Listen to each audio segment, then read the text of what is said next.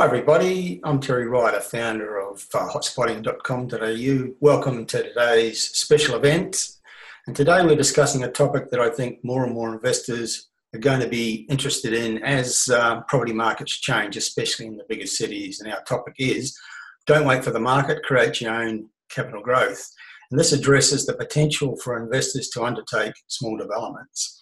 Increasingly, I find property investors are not content with the old paradigm of what's known as passive investment, where you buy an existing property, install a tenant, and wait for it to grow in value. More and more, investors are looking for strategies to accelerate the growth process. And undertaking small scale developments is potentially one of the most exciting and dynamic ways to do it. I imagine that some real estate consumers at least think that undertaking developments is perhaps too big or too complex for them to contemplate, but I think today's webinar will show us that that's not the case. Our special guest today to tell us about the possibilities is Alex Dutt from one of our partner businesses, Adviseable. And just before I introduce Alex and uh, his presentation, I just want to remind you that um, those of you out there watching and listening, if you have any questions, please type them into the either the chat box or the Q and A box, and those will come up on my screen. And towards the end of the presentation, um, I'll put your uh, questions to Alex, and so hopefully you'll get uh, plenty of answers to your most pressing questions. So, Alex, welcome. Thank you. Well, uh, thanks to everyone. Thanks very much for uh, giving up your lunch breaks and uh, just to listen to little old me. Um, today, I'll be talking, as Terry mentioned, about creating wealth through small scale development. Um, a little bit of a background about us. So uh, we are Adviseable, so we're independent agents and property investment advisors based in Sydney. You might have heard uh, my associate Kate Hill talk about um, some of the areas that we've been buying in, some of the areas to watch um, in, a, in, a, webinar about a month ago. So um, be sure to catch that one if you missed that one. Um, we operate under a fee for service business model, so we do not sell real estate. So again, we're independent buyers agents and advisors. Within the past two years alone, we've purchased over 125 properties with a value of over $50 million. And our main focus during this time has been buying and developing properties in Queensland, South Australia, uh, and New South Wales on behalf of our clients. And we're members of the Property Investment Professionals of Australia, uh, REBA, so the Real Estate Buyers Agents Association of Australia, the Real Estate Institute of New South Wales, and most importantly, all of our advisors are qualified property investment advisors and fully licensed agents as well. Uh, I've got a few disclaimers to go through. The first disclaimer is the ubiquitous um, financial advice disclaimer, which means that you know this. Please note that this information contained within is is general in nature and does not constitute personal financial advice. So, to determine whether these strategies and concepts are suitable for your unique circumstances, we urge you to consult with your appointed financial professional. So, the second disclaimer that I have is that property development is a huge topic. Okay, so that that um, chap there putting uh, trying to get his couch into his little hatchback was how I felt trying to get this uh, all the information that I had up stored up here that I wanted to pass on uh, into a you know a one hour presentation. So it was a big job. So hopefully, I've at least um, you know I'm able to to give you guys some some information whether you're at whatever experience level you're at uh, in terms of investment or, or, even property development. So I've mixed it up in terms of um, I guess some high level stuff and also some nuts and bolts um, practical information and also some examples. So there's quite a bit we're going to go through. Um, the the third disclaimer I should say is that um, I wanted, I was very um, mindful of the examples that I provided because I mean we run a very transparent and ethical business at Adviseable, and it was important to us that we we showed you examples that were actually readily achievable. Uh, we didn't want to paint a picture of um, examples that were you know one in a million. Obviously, we work very hard to find the examples, and they are unique. Uh, I'm not going to sit here and say that they're easy to come up, easy to find the examples, but at the same time we did want to show examples um, that were achievable and realistic out there in the marketplace. So they're my three disclaimers. Um, in terms of what we're going to cover off today, uh, I'm going to do a bit of a, an overview of the type of property development that we're going to be discussing. Then I'm going to look at why why people um, get involved, why property investors get involved in property development, so some of the benefits. Um, how? So we're going to look at some real life examples, including the due diligence process that we go through as buyers agents uh, when we're looking at uh, development opportunities. Um, and also some of the traps, obviously some of the pitfalls to look at based on um, you know what I've seen over the over the years. Um, and I've been just as a bit of background, I've been investing in property since the early 2000s myself, and been in the industry for over 10 years. Um, and some of the tips that I've seen along the way, and we'll look at I guess uh, also some some locations of interest. Um, I'm going to look. It's going to be pretty high level in terms of locations because, as I mentioned earlier, Kate, my associate, covered off on that in, in quite great detail. That was the nature of her entire presentation. So right now, I want to focus more on property development, some of the practical skills that we can apply to the various areas. Uh, and then we'll have a Q&A. Uh, as Terry mentioned, if you've got any questions, feel free to you know type them away and send them in through to Terry. Um, my calling card always seems to be running out of time when I do presentations, so I'll, I'll definitely try and be disciplined this time around. So when we talk about property development, I guess I just wanted to cover off on exactly what we're talking about because it has many different, I guess, um, it can be interpreted in different ways. Uh, and what I'm talking about is not buying off the plan or house and land packages from a third party developer. For me, it's about helping investors become the developer in their own right. Okay, so I'm not saying necessarily the, necessarily not the way to go. You can't make money out of buying off the plan or house and land, but that's not what we're talking about today.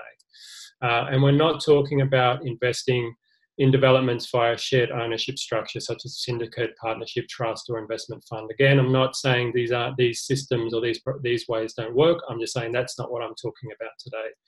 I'm talking about a development whereby one investor becomes a sole owner, okay, and they're buying something with up um, an upswing potential, so equity potential to to manufacture some growth, as as Terry uh, mentioned earlier. Uh, and we're talking about a development that enables the investor to have contr- total control over the property through development process and they're reaping 100% of the benefit. So, in other words, they're owning the site, they're buying the untapped site, and they're getting all of the benefit. And most importantly, right now, with lending where it is, with APRA and the Royal Commission and what banks are doing, uh, it's ever so important that we look at options that are, you know, are able to be financed for mere mortals. Okay, so I'm looking at development opportunities that are that are being able able to be funded through standard residential lending. Okay, and you don't have to be an experienced developer to access it. So I'm not talking about um, opportunities that require commercial lending or to have a track record uh, in terms of being able to obtain finance. So that's that's very important. So I guess that's in a nutshell what I'm going to be talking about today. Now, why property development? Um, obviously, you know, the, the most uh, obvious answer or direct answer is sh- to manufacture short-term profit. So you want to create equity. So whether that's profit that you realize in the short term or, or equity that you create on paper that you're able to use uh, to leverage into other properties or so on. But that's the idea. You're manufacturing uh, some equity, you're not being reliant on the market. And in turn, that means that you've got greater control over the investment performance. And right now, with uh, markets being a little bit all over the place, some are going sideways. Um, you know, this is a way to, I guess, circumvent that and be less reliant on what the market's doing and capitalize on some of the opportunities, uh, you know, that are there to, to the astute buyer and also manufacture rent. So manufacture yield. I'm not necessarily advocating um, property to buy property as a cash flow uh, tool, but it's it's obviously cash flow or rent return makes a property more affordable, so that can help with holding. So uh, property development is um, you know enables you to create manufacture yield, uh, and again can make the property much more affordable to hold. And also buying uh, and building new, there's some financial incentives in there, such as stamp duty savings. So with the development, with any purchase, you pay stamp duty on the uh, the initial purchase, so the site purchase or the block of land.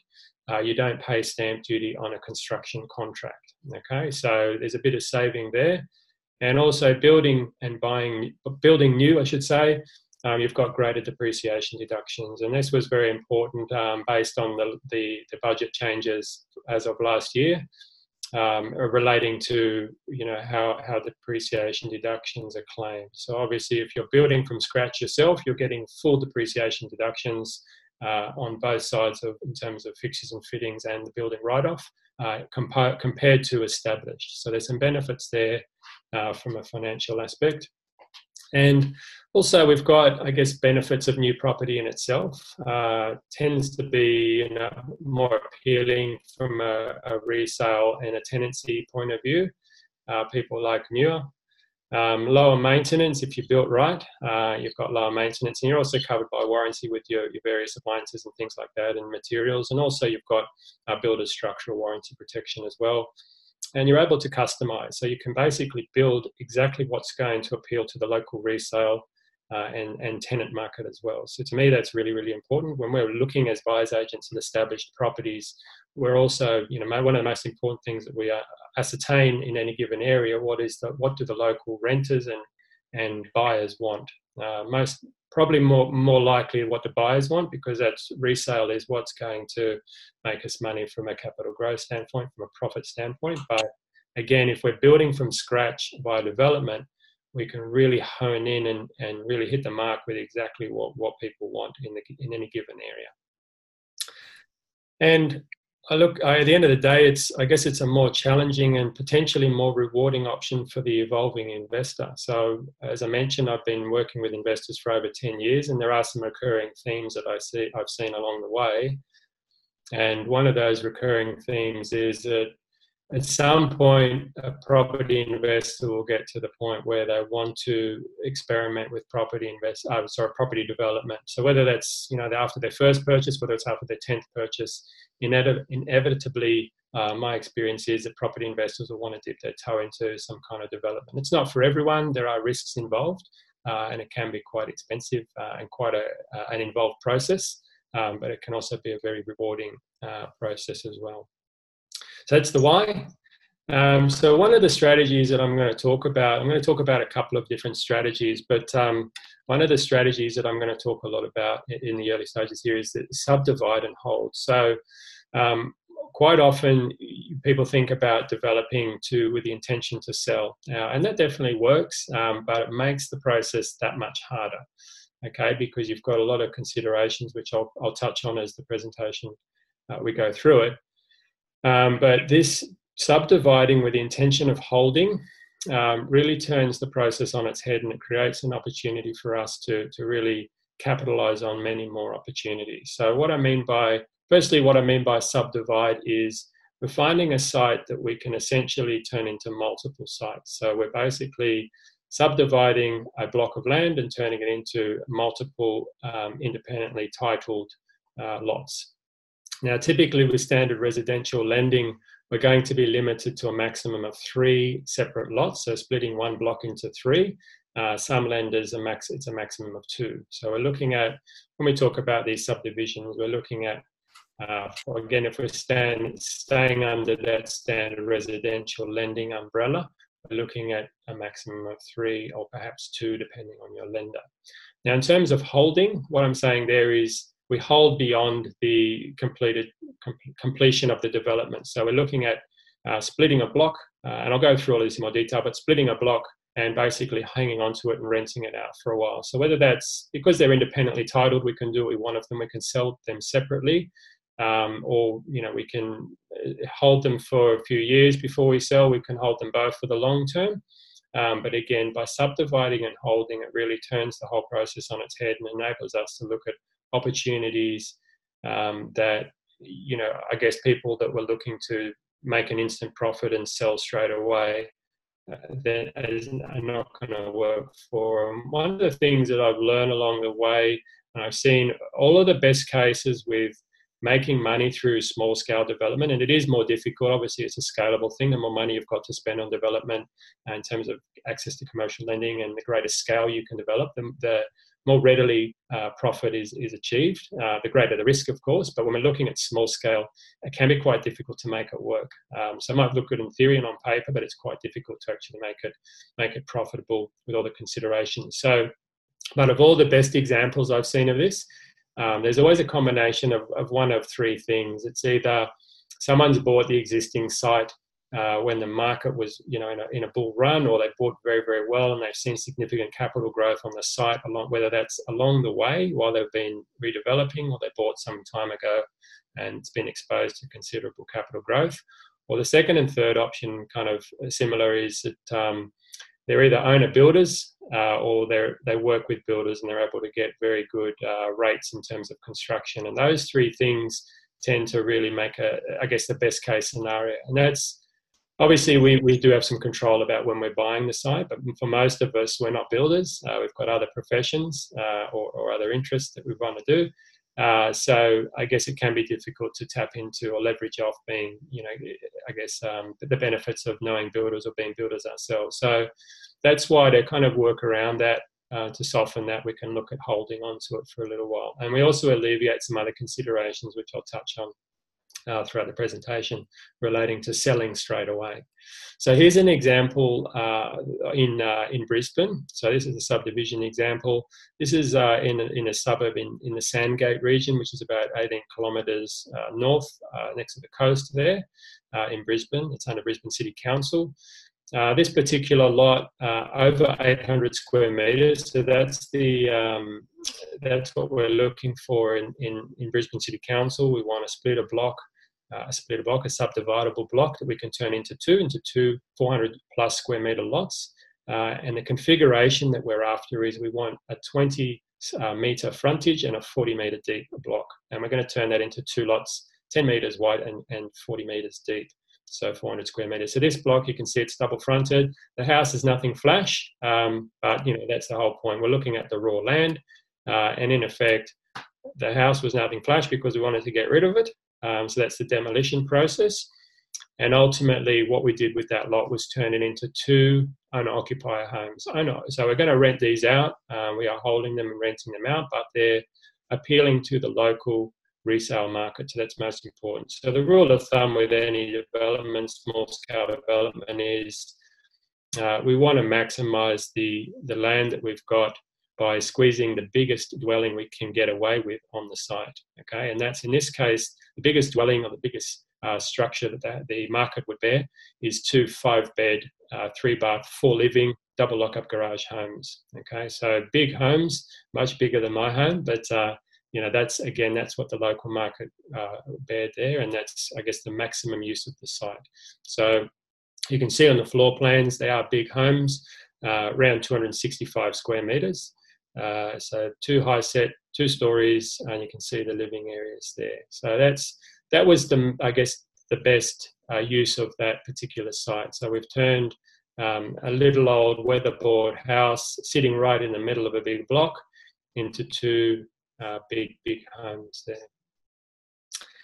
So, as an example of one that I purchased recently, I thought I'd go through the numbers. And this particular one was in Wavell Heights, which is about um, 11 kilometres north of Brisbane CBD. So, it's a really great spot. Um, gone through some significant changes over the last five years. Um, it's very much quite an active market in Brisbane terms compared to you know a lot of investors that I talk to that are buying on the fringes of Brisbane. They can attest that the markets aren't always that active out there, but in the inner inner rings or middle rings, some of these owner occupier markets are very very strong, uh, and this is definitely falls into that category. So again, we've got a big block there. So um, big block, 814 square meters, had a pretty uh, average house when uh, our builder went and inspected the house for some preliminary due diligence. I can't repeat what, how he described the house because the harsh language, but uh, he didn't paint a pretty picture, put it that way. But again, we're looking at it as a raw site and what the block of land uh, can offer. Uh, so the house itself is immaterial. It is important that we do our due diligence on the house in relation to demolition, which I'll touch on in a bit. Um, but basically, when we're doing our preliminary assessment, we're looking at what is this block of land worth, what can we do with it, and so on. So again, weatherboard tiled roof home, pretty modest, um, 1950s build, uh, falls under Brisbane City Council. Uh, last sold um, about 10 months after I was born, so for 18900. So it's it's definitely a testament to um, the I guess how rare these sites come up uh, in Wavell Heights. Again, uh, going back to my disclaimer about being a unicorn, they do exist. Um, I'm not going to say this one was easy to find. It was purchased off market, so it was uh, a lot of work to find it and get access to it and be able to buy it. So I never saw the light of day on realestate.com or anything like that. Um, but they are out there. There's a handful of them left, um, splitter blocks, and they're not on the market, but they're definitely out there in these in these suburbs.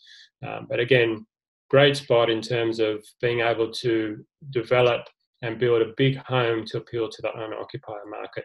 So we paid 810 for this and we looked at it purely as okay, what's each block worth? In Wavell Heights, if we can get 400 plus square meter blocks, what are they worth? Okay, so I'll take you through the numbers on this particular one. So purchase price for 810, as I mentioned, purchase cost, so our stamp duty and our legal fees are around $34,000.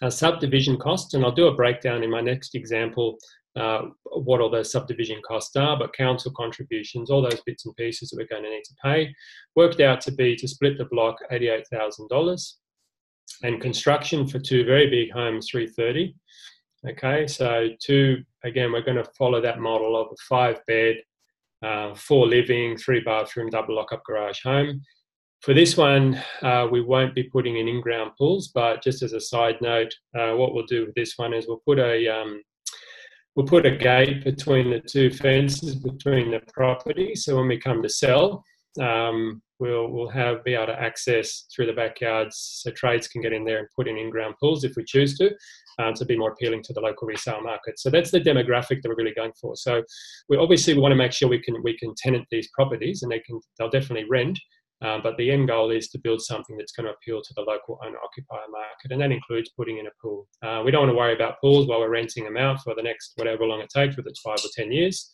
Um, but it, we make kind of allowances along the way to, to maximize resale potential. So the project cost all up is going to be around 1.55 million, and the end value, which I've conservatively put in at 885 per side, and I'll talk you through how I come up with that valuation shortly. Uh, so that's quite conservative. So I've got a gross profit in there of 211,000, so on paper, which is around 14%. Okay, so again, this is why once we start looking at developing to sell, uh, we're going to be looking at uh, other costs eating into that, selling agents' costs, capital gains tax, GST, and things like that, which I'll explain later. Um, but that'll lead into that. But on paper, we're creating some genuine equity in there. So the other way to look at it as well is outside of just creating equity on the end result in terms of what we're putting in, the 155 against the 177. Could, the other way to look at it is what we're actually putting in up front. So if we're borrowing 80% against our site purchase price of 810 and our construction cost of 660, so in other words, we're getting loans against those two things we can borrow. We're using existing equity or cash against for, to pay for our purchase cost, our subdivision costs, our 20% deposits on, on the purchase price of the site, and 20% for the construction, and then other contingency along the way, excuse me, such as um, loan interest repayments and things like that throughout the, pro- the process. If we look at that lump sum money, so we're putting in $416,000 as our deposit, we're actually getting a 51% return on investment within 12 months. So this project, based on uh, knock on wood with the DA, uh, you know, we'll be able to get that done pre-settlement, uh, and we'll get to site pretty quickly. So we should have this all turned around again, knock on wood, within 12 months. Uh, so the return on investment, if you look at it that way, it's about 51% on, on the capital upfront. Not not including selling, of course, as I mentioned, but that's uh, you know if you look at it that way, it's quite a good return. So the rent on these ones is about conservatively appraised at 725 per side. So while we're holding them, I actually saw some comparables renting for close to 800. So I've scaled that right back to be quite conservative. So 725 a side, which is a yield of about 4.8%.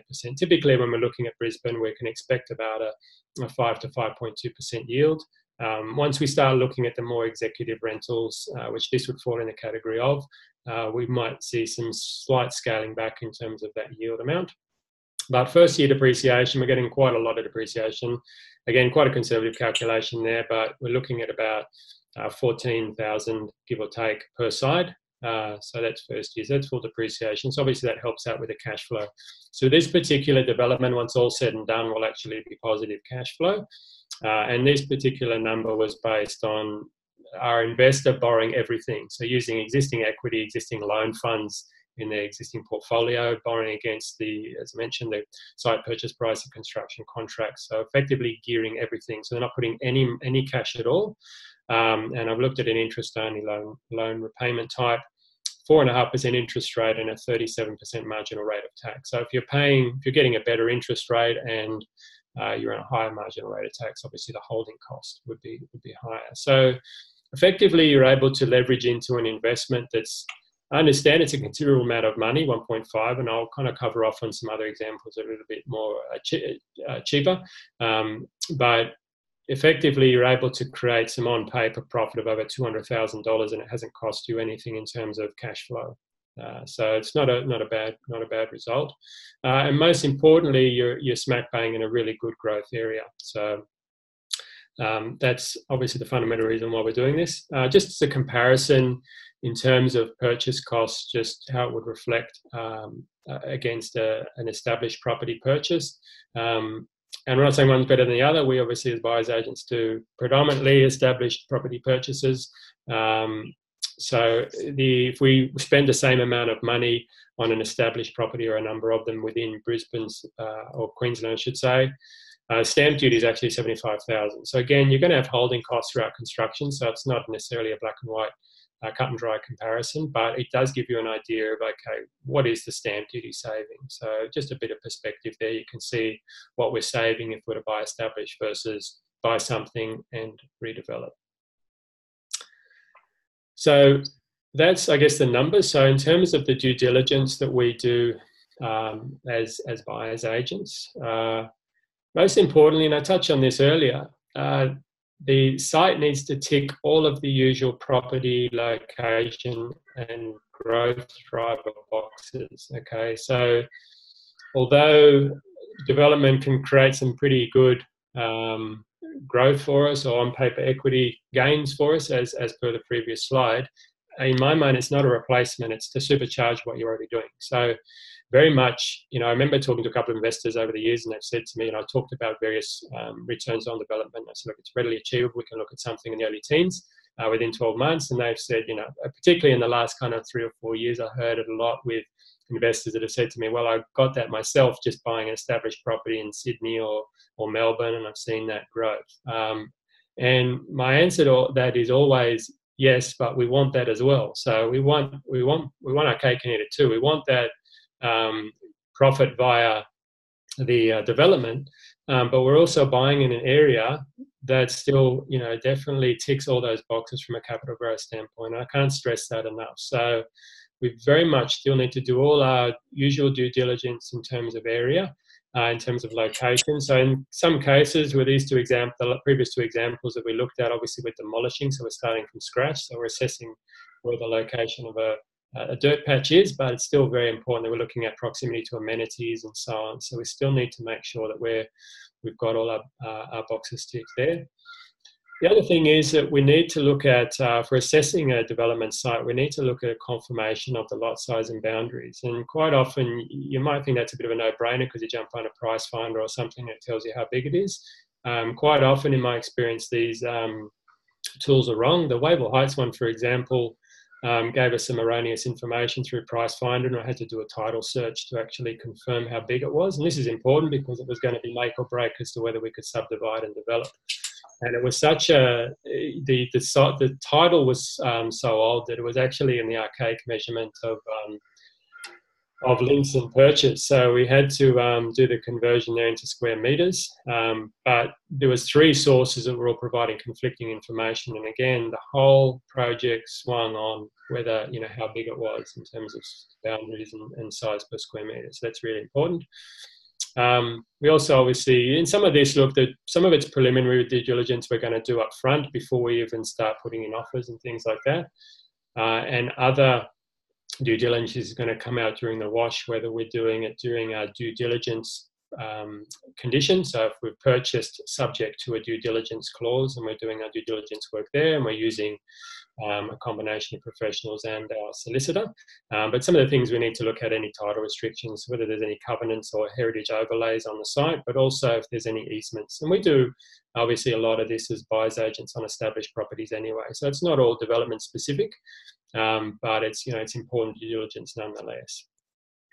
And this, I guess, the next part is it's a little bit of an interesting one. If you're doing this as a private developer, um, it can be a little bit harder because as a buyer's agent, we've obviously got uh, a lot of re- re- relationships with professionals that we've worked, we've worked with over the years. So we're able to ask them to do, I guess, love jobs, so to do things for us in terms of for free, uh, with the you know assumption that they'll get the work down the track. Um, but and it's a bit of chicken and egg. So when we're looking at sites, obviously we want to talk to some of these professionals and get them to um, give us feedback for free on the sites and tell us whether it's going to stack up and kind of you know I guess cheekily try and get get information as I mentioned. And that's it can be a little bit harder um, to get that from from the general public. I know who to work with, um, you know, and try and get that information if you don't have those relationships. But it's still you're going to need these professionals at some point. So a town planner can help you, give you advice on what the cost is and of, of subdividing. So your your costs with council to um, put the DA through, so your development application, um, and give you advice as well, a bit of feedback on on the site uh, itself and you know the development potential.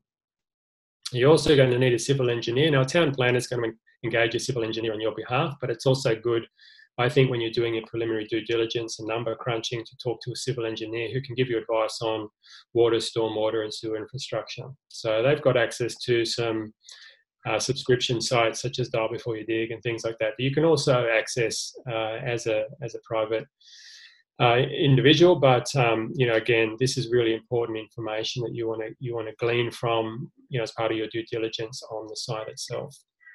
And again, a builder. So you're not necessarily engaging a builder straight away, but it can be very helpful if you can get a builder to look at your site and give you advice on anything that might be hairy or curly about the site that you need to keep in mind. So whether it's the slope of the block and what would retaining an earthworks cost. Um, some of these also overlap. So with a civil engineer, um, they can give you advice and draw up a, a, scope of works for you know water and sewer and stormwater infrastructure. But in some cases, such as you know stormwater, a builder might actually integrate that into the construction uh, price there, which would be a little bit more cost effective. So things like that, working with those um, those professionals.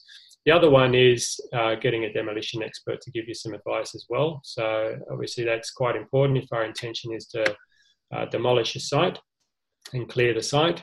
Uh, and on that note, I mean, quite often, uh, if you look, if you the example we looked at in Wavell Heights, we had a couple of um, pretty minor trees on there. They weren't that, that big, a few meters high, um, but they'll be demolished as part of the uh, the demo work. So we don't need a tree lopper. Um, but if you've got trees that are on the fence line and things like that, you might also need a tree lopper because uh, you know your demo demo guys will go in there with a bulldozer, and if they start taking out trees, they could take out half the fence and next door uh, if there's trees on the on the line there. Um, but on that note of trees, you also want to do a vegetation check with council just to see whether there's any protected trees on site. So quite often, I mean, Brisbane City Council is great for this. You can ring them up, you can get a, they'll give you a, a um, a reference number, you take down the name of the individual you spoke to, and you've got basically a record of you know whether or not confirmation whether there's any um, protected trees on site. That's not bulletproof, mind you, but at least at this stage before you've lodged your DA, you know that there's nothing, no no trees that are going to make or break the deal at this stage. And then you do your usual flood and bushfire mapping as well. And again, we do this in standard BA um, purchases for anything anyway, but it's obviously just important preliminary due diligence and a rental appraisal from a property manager. So if we're looking at developing to hold, um, we want we want to know what the property is obviously going to rent for. You saw before, I used an example there that we had a rental appraisal done at 725. Uh, and that was scaled back a little bit, but we look at conservative estimates there. But that's obviously going to give us an insight into what the property is going to rent for the completed development, I should say, is going to rent for. Uh, and it's also at that point can be really useful to talk to property managers, local property managers about what they're seeing with the rental market. So, what are some of the things that we need to keep in mind if we're building? And again, I really do stress the point that we're building from a resale perspective to appeal to owner occupiers. We're not necessarily building from a, a rental standpoint, but in saying that, if our plan is to rent these out for the medium to long term, um, you know, it's going to be pretty miserable to hold these properties if we can't find tenants and we can't get the maximum rent. So um, we really do want to, I guess, make sure we've got both bases covered in terms of appealing to tenants, but most importantly, appealing to the resale market. And on that note, we need to do evaluation. Obviously, to me, as a buyer's agent, uh, again, whether it's a development or established property, I think I always say this is you know, probably the number one skill to have, uh, and, and that goes through to any real estate professional. And I can't stress that enough. I mean, to, to remove the mystery and be able to put your finger on an amount, actually quantify what a property is worth, uh, to me, that's absolutely critical. And it's probably also, I mean, the number one skill, if you're a, an, an investor out there just doing it for yourself, uh, to me, that's the, you know, the number one skill to hone, to spend a lot of time. Uh, and it's also obviously the, the number one thing that people get wrong uh, but again, we want resale, uh, we want evaluation on, on the initial site purchase to make sure we're paying a good price, but also uh, what, you know, how does it stack up and what's it going to make for us at the end. So the resale on completion, uh, and at that point, we can also talk to some some uh, local agents as well and get some feedback feedback there. So, and most, you know, as I mentioned before, we went through the numbers, feasibility study. So we've got to make sure that there's some profit in the whole development. Okay, so you know, just, um, you know, one of my friends, he always says, just because it can be done doesn't mean it should be done. So, uh, you know, and this it might look good on paper, but we need to put all of these things together and make sure that there is actually going to be a market for the end end product. Um, but most importantly, it is actually going to make us money. And once all risks and contingencies and all those ifs and buts are put in there, it's actually a profitable venture. So that's, I guess, that's not everything. Um, what we do is an, just a, a, bit of insight when we look at an established property purchase. There's about 40 odd questions that we, we go through with uh, an established dwelling. So obviously we're pulling those out because if we're doing a development where we're demolishing, um, then you know a lot of those are, are not relevant in relation to the property itself. But uh, in terms of location and all of those and relating to development, um, that's in a nutshell. That's a you know higher level. They're the main ones. So, as a bit of an insight into us doing the valuation, which I mentioned is very, very important, this is the process we go through. And again, this is the tip of the iceberg. I didn't just do evaluation on these four, but this is, I guess, the four that I looked at which were most comparable. So, out of the 3,000 odd um, lots within Wavell Heights, um, about 10% of those are roughly uh, big enough to be subdivided, uh, and about 10% of those are actually uh, able to be you know subdivided in terms of um, boundary size and and and yeah in terms of just being able to uh, be subdivided and split. So there's not a huge amount to go by and there's not a huge amount that have sold. So it is doing um, valuations on sites can be very very difficult uh, because it's not always comparable. It's not like you're doing a comparable on a four bedroom house that you know 50 of them have sold in the last 12 months and you can pick and choose and really drill down and find one that exactly matches. Um, because in particularly in, in areas like Wavell Heights where the, the lots are very tightly held, um, doing comparables is, is quite difficult. So there's some compromises in there in relation to some you can see, you know, I've made some comments about location and so on, but basically I'm looking at what is the raw land worth. So the one at the top sold um, earlier in the year for just under 1.3 million. Um, and that was subdividable into three lots. And that's actually a pretty slopy block, so that would cost quite a lot to um, cut and fill to get that and retain to, to get those to be ready for construction. Um, but that was kind of my benchmark um, in terms of valuation. In terms of the completed project, um, I put in there 885, which is quite conservative, which I'll show you why. But this particular one, you can see these are all blocks, all the examples here are blocks that have been split over the last 10 years. So I've got two pages there but they're all blocks that have been split. The first one at 307, in case you're wondering how they got down to under 400, there is a provision uh, within Brisbane City Council to do blocks uh, around 600 square metres. You can cut them into blocks uh, 300 square metres in size, provided they meet certain requirements about uh, being a certain proximity to uh, major major transport hubs. Um, to me, I don't find those as appealing. Obviously, you're, you're really casting a net, net that much smaller trying to look for them in the first place. But from a resale perspective, your blocks are going to be very, very small. So owner occupiers, you're not going to have much much uh, you know yard space left over. So I'm not saying that that's a deal breaker. I'm just saying my preference is to find something uh, 400 square meter plus. But there are examples there of comparables. What we're going to be looking at with a completed development. Um, obviously, they're in different parts to the different parts of, of the suburb to what we um, what we bought, and that's obviously going to affect the the end valuation. But there you can see. Um, you can see, I guess, uh, get an idea of what things are selling for uh, in terms of the, you know, the local area. I would say Seven Power Street, the second from the top, that was uh, one of the comparables that I looked at as being pretty close to what we're going to build. I like to think we're going to put a nicer facade than that one. I'm not entirely convinced of that one, but uh, we'll probably put in five bed as well. So it'll be slightly, um, you know, larger, larger build. But again, that's a 2000 built this year um, and sold for 885 on the open market. So things are transacting. So we're not just, you know, this is really important. We're not just looking at, okay, best case scenario on paper, how does it work? We're looking at drilling right down and knowing what things are selling for. And that's really, really important. Um, so again, coming back to my comment about unicorns, they're definitely not unicorn. We're not creating something that's a you know a white elephant uh, on the market. We're, creating something that people really want, and people are you know lining up to buy as per the as you can see with the uh, the figures there.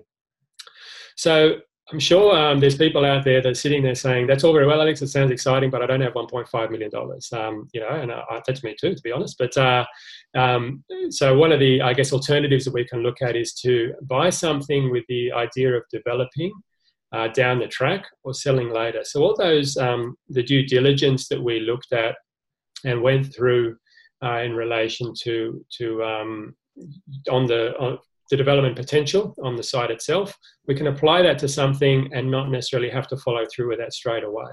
So one of the areas that um, I really like at the moment, and I'm sure Terry you like it as well, is Moreton Bay. Um, you got any thoughts on Moreton Bay, Terry? Um, you're right, Alex. Um, I do like it. I like it a lot. I think it's the the most active part of the Brisbane metropolitan area in terms of property markets at the moment.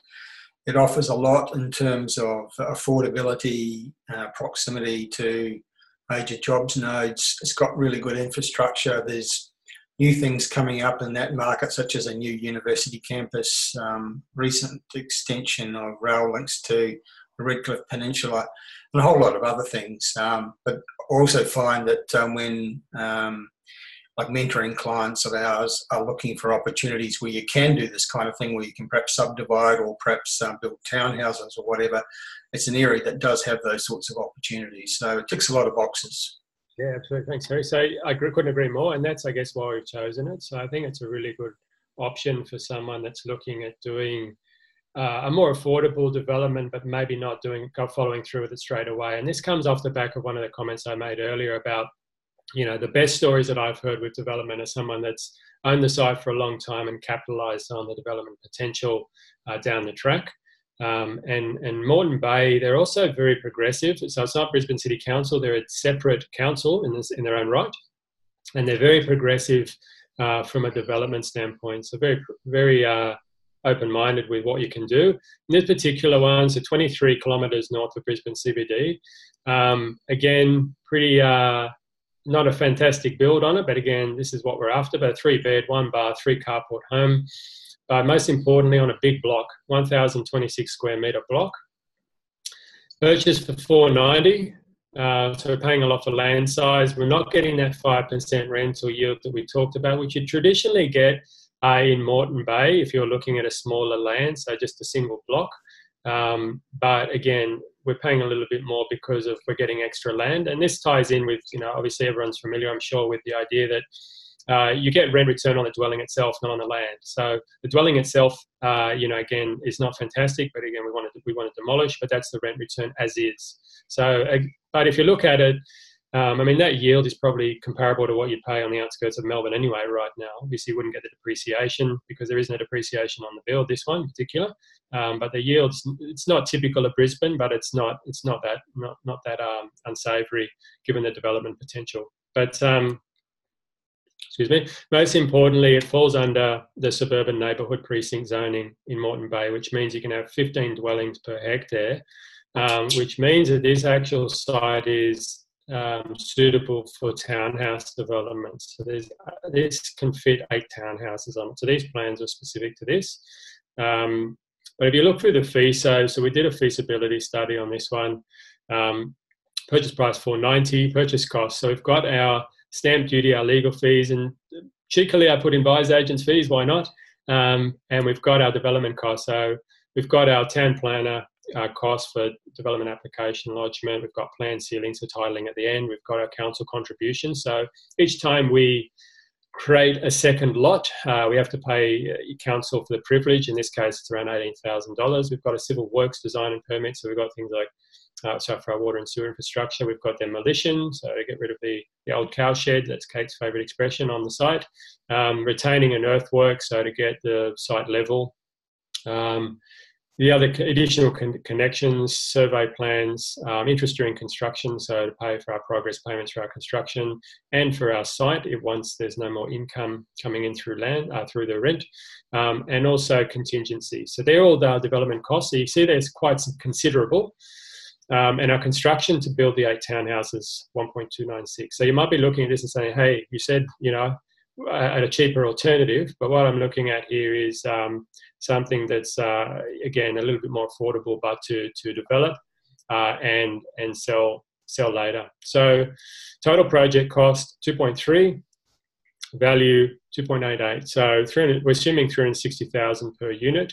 Gross profit uh, is 535 uh, on this one. So again, we haven't considered their GST implications. If we're developing with the intention to sell, um, we've got GST implications uh, because we're effectively becomes a commercial venture. Um, and we've got capital gains tax obviously to sell within 12, 12, 12, months, and we've got selling agent fees to sell these. So the profit margin for this one is 23%, which quite frankly doesn't quite stack up right now um, for uh, you know for a, a developer. Uh, and again, this would be really you would only be able to achieve this if you were a commercial, uh, if you had commercial uh, lending. Uh, so this would really be a professional developer turning this into um, you know making this work. Um, unless you're able to form a syndicate or something like that with a, a group of your fellow investors. Um, but the profit margin is probably probably doesn't quite work just yet. Okay, so the reason I raise this is as an example of buying uh, and just knowing that it ticks all the boxes from a development standpoint, with the exception of profit margin. It's still there's money in there, um, but it's not quite uh, meaty enough to to justify doing the development straight away. Uh, so you could look at holding on to that until such time. I mean, Terry touched on it. There's a new university going in in Petrie that's obviously going to have a dra- dramatic effect on the on the, on the area. Um, and if you're building something like townhouses, then you know perhaps that's you know suitable for for um, student accommodation or, or or um, you know locals that are going to be visiting the, the university there. So it's to me that's um, you know that's could be a lot more appealing once the market picks up uh, and can bear, I guess, the cost. So if, you know if you look at townhouse developments going up to be, uh, sorry, the townhouse is selling for 380 or 400 obviously the profit metrics are going to work much more favorably at that point and then you can find uh, you know you can start to think about on selling the site so that's an example of i guess two examples there to look at the market where it currently lies obviously ideally i'm not saying we can't develop with the intention of selling straight away but given where the market is uh, right now uh, in terms of you know i guess where all the markets are i should say not the australia's not one big property market but where, where the markets are, and I guess um, without trying to be too buoyant on certain areas, if we look at, okay, how do we hedge our bets and say, um, finding opportunities that I, I guess are going to uh, turbocharge our, you know, our capital growth, we can look at opportunities, opportunities like this. So I guess some of the things to keep in mind uh, with with developing so I get asked a lot um, about particular areas all the time. I get asked about, uh, you know, do developments work here? Do developments work there? Um, and a lot of time, it's the questions I get asked are, are, are really at the fringe areas or the cheaper areas, uh, entry level. And because you know a lot of the development costs, construction, uh, your subdivision costs, so your council contributions, uh, are mostly um, they're not they're fixed. They're not geographically dependent. So in other words, uh, whether you're building a house in Logan or you're building a house in Wavell Heights, it's you know in Brisbane, for example, um, you know it's, it's still going to be the same cost, give or take. It might be slightly cheaper here and there, but for the most part, it's pretty much the same. So your underlying land value is that much cheaper. So the development site's going to be cheaper uh, to find. Um, but in terms of the actual um, resale, uh, that's not there either. So the market can't bear, uh, you know, resale uh, into, you know metrics there. So it's not going to work. Um, shared ownership structures. I get asked this a lot. Me and my friends want to pull, pull funds together. Uh, we want to form a syndicate, a trust, or a partnership.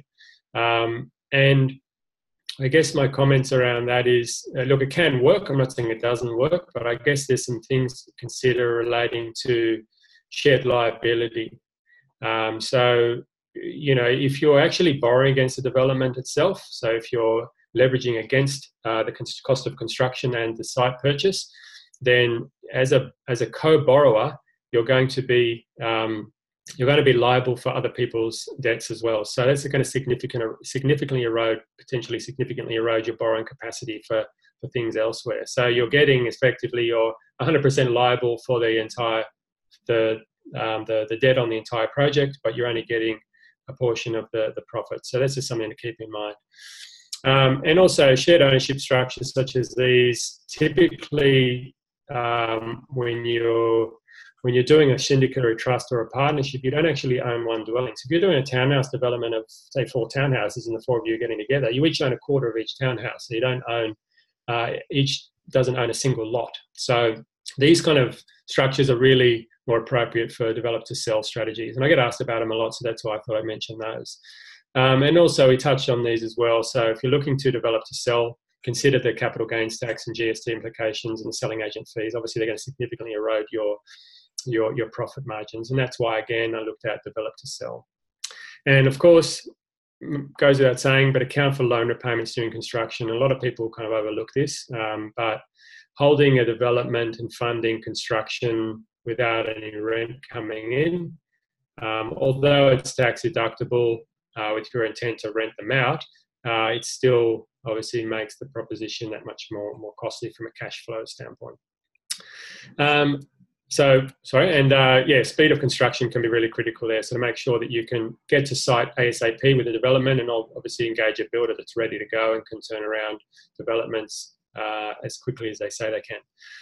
So, some of the tips, I've got to breeze through these pretty quickly because, of course, I'm running out of time, as I said I would. Um, my comments about this if you're if you're not a professional developer if you're just starting out uh, i would always advocate um, developing with the intent to resell, to and cater to the owner occupier market, not the investor market. That's really, really important.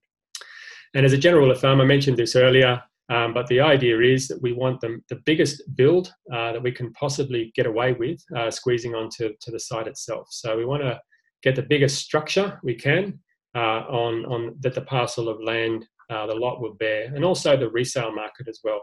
So that's the rule of thumb. And quite often, when we're looking at uh, again catering to the tenant market, uh, it, it, may not necessarily be, um, you know, I guess that, that two might not, not, not might not be mutually inclusive. In other words, uh, you know, it, we might be building something that doesn't necessarily suit the ideally the uh, tenant um, demographic there, but again, we need to be appealing to the resale market um, as a as a uh, priority. So, as with any opportunity, really, um, and this is obviously what you know, in part why people engage buyers agents such as myself and, and us at Adviseable is to find the opportunities that are not on the open market. Uh, but with development sites, the best ones sell off market. It's just a fact of life. I mean, they don't come come along very often, and you've got to be really ready to to jump on them. And you've got to work. I, my experience is working with selling agents that actually uh, focus on securing potential development sites. And I put in the word potential there because selling agents' jobs are, are to sell. Um, they can't always, you know, obviously they, they, don't know necessarily know all the nuts and bolts relating to whether a, a site has the potential to to be be redeveloped. So you'll see that all the time in listings, you know, inverted commas, subject to council approval, STCA. So you see that all the time, and that's just their little disclaimer. And again, when you're looking at a site, we need to know, and it's going to be different in every area, but we need to know the ideal boundary configuration for a subdivision. So the examples that I gave, Wavell Heights one and the other one in Sandgate, we're looking at uh, 20 metre frontage, 40 metre deep. So we want to turn it into 10 by 40 blocks, um, long and narrow, that we can build two high sets on for this example. So a lot of time, um, you know, I get asked, oh, you know, I've got a block, I bought a block ages ago, just by a sheer chance, it's, you know, about 100 square meters, can we subdivide? And quite often the answer is no, because of a whole bunch of reasons. Uh, it could be trees on footpath, it could be, um, yeah, I guess, um, yeah, it could, could be a whole bunch of different reasons based on, uh, you know, go back to the due diligence we talked about. Um, and the other thing is, on that note, you know, make sure you, when we do our due diligence, do a due diligence on the footpath and street, streetscape adjoining the block. So it could be again trees on, it could be a curbing, could be um, it could be a drop off off you know the slopes um, away from the um, the the nature strip onto the front of the block, and this could affect setback. So setback is, I guess, how how close to your boundary you can build. And this is really important because it can eat up into your developable space. So um, if this block is sloping, particularly at the front where you want a driveway, obviously that can push back um, where you can build. Uh, and that can leave you with a smaller yard and things like that. So it's knowing all of those really important little things along the way uh, that can really make or break a development um, throughout the process. And again, you know, like anything with property investment, uh, make sure that you assemble your team of professionals ahead of time so you can jump on any opportunities as soon as they come up. So the good ones will sell very, very fast. So, you know, it's not it's not uncommon for me to have a uh, you know a site or even any property opportunity drop into my lap. Um, I say that tongue in cheek. Obviously, there's been a lot of groundwork to get them, but so we, we get them. Um, they appear, you know, that afternoon, and by the next day, uh, we've got a contract on them. Uh, so, and that obviously applies even more so to development opportunities where they're scarcer. And one of the kind of tips I'd throw in there would be to negotiate a special condition to be inserted in the purchase contract so that we can lodge the DA prior to settlement or alternatively negotiate a longer settlement. So lodging the, the DA, which is obviously a bit of a, a dead time because we can't do anything, we can't start on site until we've got that approved, but um, we, you know, obviously once the settlement of the site occurs, we're going to be start having to start paying for our loan on that. Um, so we want the two to be as close together as we possibly can. So that's just a little tip there. Uh, quickly, just choosing a builder. Um, my preferences around that would be um, looking for smaller uh, family-sized um, builders. Uh, quite often, uh, you know, we look at the builders' websites and um, marketing material and stuff like that, and they can be uh, not that amazing. And I always say, look, you know, we, we, we I would be uh, hesitant to judge a builder based on their marketing material. We want to know how good they are, and we want to look at, I guess, their history as well. One of my favourite builders in Brisbane. I mean, they've been family-owned business. They've been working in the area for 40 years. Father and son team. They're not they're not getting too big. They do a really great um, quality of finish, and and they're very punctual and they're you know very reliable. So you know it's smaller business like that that are, and we've got a great relationship, and they're the types that you can approach ahead of time, like I was saying, get to visit the site and provide feedback on on uh, suitability for development, uh, and also just encourage to, to shop around. So just to you know compare apples with apples because you'd be amazed at what's included, what's not included. Uh, and on that note, we want fixed price contracts. And we want we want um, builders that are going to cust- provide customized designs. Um, obviously builders are going to reuse certain designs and things like that but we want each development to be customized and we want each drawing to be customized not just cookie cutter. So they're kind of some of the comments there. Very quickly some huge generalizations in terms of areas. Um, and looking at this not just from development but also buying established properties uh, Brisbane City Council. So this is pretty much my favourite area at the moment for developing. So within the 10k radius of the CBD and Moreton Bay, which we already touched on. Sydney, there are some certain areas um, that we look at uh, in developing in Sydney. Blacktown Council being a favourite, um, Sutherland Shire, uh, Ringa Shire, a few other areas. But quite frankly, your construction costs are so high, um, and the land purchase is so high, and also your resale is, you know, the market's going sideways. Again, gross generalisation. Um, so my comment with there would be to, um, based on what I'm seeing, I'd be looking at doing some some purchases where you can reno and hold. So not again trying to avoid that resale market right now. Uh, so I really do like renovations, love renovations. So anything that we can do uh, value add to property I really like, whether it is as big a scale as development or, or renovations, uh, and bailout. And look, when I say bailout, I'm saying there's a lot of investors out there at the moment that are, are panicking. They're doing silly things, um, particularly in the investor space, because uh, there's fewer investors out there, so there's less competition. So there's some really good buys to be had.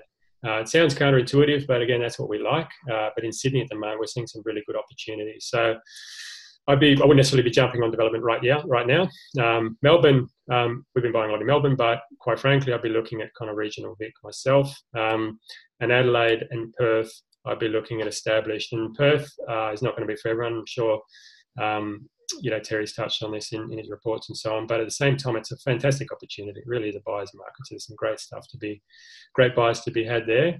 Um, but again, if you want more info on areas, I very much encourage you to look at um, my colleague Kate Hero's presentation, which we did a month or so ago. So I think I've um, used up all our time, but uh, if we have any time, Terry, for any any questions. Yeah, uh, um, Alex, certainly. Um, we, we do have a little bit of time. Um, if people would like to type their questions into the, the chat box or the Q&A panel, and I'll put those to Alex. Um, we have had some come through already, um, Alex. one was just a general question of, is there any reason why you focus so much on Brisbane? Is that an area of particular opportunity at the moment, do you think? Um, there's a variety of reasons. I mean, I just like it from an affordability standpoint. So my goal when I was setting up, uh, I guess, the product offering that we, we, we have at Adviseable was I really I spent a lot of time, and I worked on a variety of different capacities throughout the real estate industry, but I really wanted to bring on board or offer uh, development opportunities that were going to make genuinely make people money, but were as affordable as possible. And that led me to Brisbane because I feel like the the market hasn't boomed in terms of uh, it's had some pretty good solid growth in certain areas. You wouldn't believe it if you're making if you're listening to the the general media, um, but there's been some pockets that have had some significant growth over the last few years. But it's still very affordable. So land prices haven't gone astronomical. I live in the inner west of Sydney myself, and just watching prices go through the roof, it's it's amazing.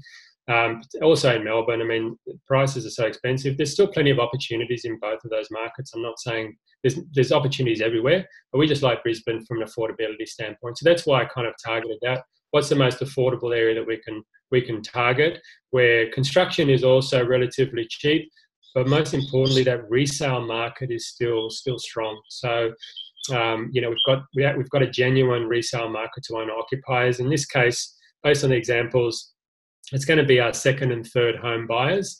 Um, but that's the kind of thing that we, uh, you know, we want to tick all those boxes. So again, I, I, was limited; I couldn't show all the examples, but that's that's why we like Brisbane. Uh, in Alex, a question about um, you made reference to the stamp duty savings, where you effectively are buying land and developing, so you're not paying a stamp duty on the build. Is it not the case that uh, at least part of the stamp duty savings are negated by the interest bill, the sort of the holding time. Yeah, yeah, yeah, and I mentioned that. So look, it is. It's a bit of a, um, a give and take.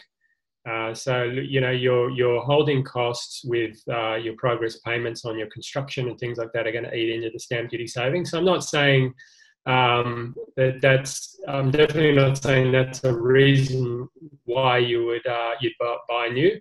Um, but I'm just pointing out that kind of six one way, half a dozen the other. I mean, you'll still come out ahead based on most calculations that I've done. You'll still come out ahead, and the interest is tax deductible. So your progress payments, your interest repayments, if you're going to rent it out at the end, if your intent is to create rental properties, your interest repayments during construction, even though there's no rental income coming in, um, is still tax deductible. So you still come out ahead. But again, you're right. Yep, you've got, definitely got to factor that in, and that's why I mentioned that in the uh, you know one of the other slides as well, with things to watch out for. Make sure you target it for that. A question about a reference you made. Um quite early in the presentation where you talked about um, the ability to manufacture yield, and the question is, can you explain what you mean by that? Yeah, I guess um, manufacturing yield. What I'm looking at is, um, I mean, you think about the rent return that you get is is mostly based on, you know, in a roundabout way, it's based on the value of the property itself. So if you're creating equity, you're turning something that was cost you 1.5 into something that's worth 1.7 odd at the end, you're getting a rental yield of 1.7, you know, to the value to coincide with a 1.7 value, but your loan is only 1.5 or funding a 1.5 purchase, if that makes sense. So you're getting a better yield than you would than if you bought um, outright uh, and established. So I guess that's what I look at when I say manufacturing yield. So you're not just manufacturing equity, you're also manufacturing a bit of uh, rent return there as well. Okay. Um, there was also a question, there was a reference you made, Alex, to um, you sort of limited to a maximum of two or three lots. Is that in terms of um, uh, what council allows, or is it to do with uh, the finance you can get? That's to do with the, yeah, to do with the latter. So that's really the banks. So with um, funding for development, I mean, it's uh, obviously funding right now is is more important than ever. So you're, I always say this. I mean, I always say this. Your your borrowing capacity at the moment. I mean, it's it's uh, an asset in itself right now. It's a commodity in itself. So you really need to use it wisely. But I mean, I was a mortgage broker many years ago, so. Uh, having having kind of been through that the best of times obviously it's very different now i can imagine doing it now but it is it's one of the most limiting things quite frankly that we we face right now we've got you know dozens and dozens, scores of investors that we're working with that are wanting to buy more properties but just can't access the funding to do it. So it's, it's quite interesting. But at the same time, what I mentioned there with the limitations around uh, dwellings is that most banks will look at uh, a maximum subdivision uh, of three dwellings, so turning one lot into three. That's the most they'll fund under standard residential lending. So once you go beyond that, some banks are limited to only two, uh, and once you go beyond that, uh, that's when it falls under commercial lending. Um, so, and again, that might be fine. You might be able to look at commercial lending. That obviously opens up a total new uh, avenue in terms of the opportunities that you can you can look at buying. Um, but again, I'm looking at uh, as a starting point with this presentation, it was okay. Let's find development sites that are accessible for uh, for us mere mortals that are looking at you know getting getting standard residential lending through our through our um, equity through our existing portfolio or cash deposits, and not having, I guess, a track record and being able to prove that we've done this before um, if we don't haven't had any experience. I think yeah, you mentioned one of your case studies. Um, you had you, to put it uh, in your figures um, to show um, representative figures how the numbers work. A 4.5% interest rate, uh, and that's realistic as long as you fit within those those sort of caps that the, the banks like. Yeah, look, I mean, talk with your, your broker, but I mean, the, again, this should fit under standard resi lending. So there shouldn't. It's no different than um, if you were to buy a house and land package, or if you were to do some construction yourself, and, or, or sorry, buy an established property, funding the construction and a, and a development like this is not going to be any different than, than a standard investment property purchase. Obviously, some of the numbers we're talking about are slightly higher, um, but again, I'm just painting a brutally honest picture. I don't want to paint a picture of, um, you know, again, the unicorns, things that don't exist or are too good to be true. We're saying, okay, this is readily achievable. This is what we can find, and there's an established market out there. Blocks and sites like this exist, um, and these can be achieved by standard residential lending. So your interest rates shouldn't shouldn't be affected, um, you know, any differently than than if we're buying an established investment property purchase. Um, we should probably wrap it up shortly, Alex. But just just one more question, perhaps. Uh, you mentioned uh, towards the end of your presentation the importance of uh, configuring something to sell to owner occupiers, not investors. And what was what was the reasoning behind that strategy idea? Yeah, look, I think um, I mean it kind of ties in with my other you know, rule of thumb that I mentioned that we want to get the biggest dwelling we can on on this that the, the um, block of land will bear. So you know, and that normally equates to in this example, if we're doing if we're limited based on lending to do a subdivision into two lots or maybe three, um, we're not going to be doing townhouses. That's commercial. We're doing um, standard residential. We're going to be doing big homes. Okay, so it's it's. I mean, it's possible that an investor might want to want to buy one of these big homes if they're a bit more astute and they they know that they want to hold on to it and sell it to an owner occupier down the track. But I mean, it's kind of the same thing where we're looking at appealing to owner occupiers. I mean, to me, generally speaking, whether it's established property purchase or not, I always say we want to target owner occupiers. They're the ones that are going to make you money when you come when you come to sell, uh, and that is because they're willing to pay a premium. Um, again, some investors out there might pay too much for certain things, but again, the, the, we want to buy in a market that's very active with, with owner occupiers. Uh, we won't want to be selling, creating something that we're selling to interstate investors. We want to be saying, selling something where there is a true market in there of people that are thinking emotionally and just like something for what it, what it represents, not necessarily yield and things like that. So again, this is why we are saying with those examples in Wavell Heights, we'll build them um, uh, you know, build them to suit the local resale market, but we'll leave a bit of space to put in a pool and things like that down the track so we can really maximize our, our capacity to sell to owner occupiers come resale. Okay, Alex, well, thank you for those responses and for your presentation. I think we should, we've gone a, little bit over the hour, so we, should probably wrap it up now. And um, by its very nature, um, it's a subject that has um, complexities and there's a lot more for people to know. And I would encourage people whose um, appetite has been um, perhaps a little bit whetted or inspired by Alex's presentation, to get in touch with Alex or his um, colleague Kate Hill um, via the um, contact details on the screen. If you've got further questions or if you're interested in perhaps getting Adviseable to, to find opportunities for you, um, please get in touch with them. Um, Alex, thank you for a very informative presentation today. It certainly opened my eyes to some of the possibilities in terms of how you can accelerate, accelerate the, um, the equity creation or wealth creation process by undertaking something a little bit more uh, creative or um, exciting than uh, a passive investment, and uh, the, the, potential um, is enormous. Um, any final comments from you, Alex, before we wrap it up. Okay, firstly, say thanks to you, Terry, and thanks very much to everyone that's still sticking around. And um, look, any questions at all? Um, we don't do the hard sell it Adviseable. We're definitely happy to help you. But um, any questions at all? Uh, you want a bit of advice if you're midway through a development, you're looking at doing the development, feel free to email me, give me a buzz. I'm happy to happy to help out. Okay, Alex, thank you again, and thank you everyone for participating. Uh, this is uh, Terry Ryder from Hotspotting. Uh, signing off. Uh, let's do it again soon, Alex. Um, always Thanks. find um, the webinars I do with yourself and Kate at Adviseable particularly informative and interesting, and certainly gets uh, gets me inspired to go out and do things.